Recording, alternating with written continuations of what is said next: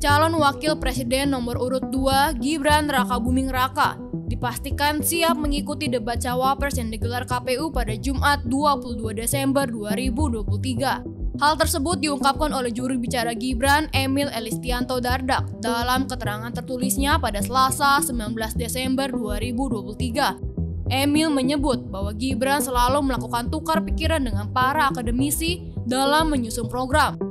Gibran bersama capres nomor urut 2 Prabowo Subianto disebut juga saling menyelaraskan dalam membangun kesepahaman terkait ide besar seputar bangsa Indonesia.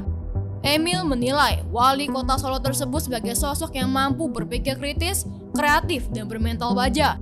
Aspirasi masyarakat dari berbagai daerah di Indonesia yang telah diserap oleh Gibran dianggap sebagai senjata utama Gibran dalam sesi debat Jumat mendatang.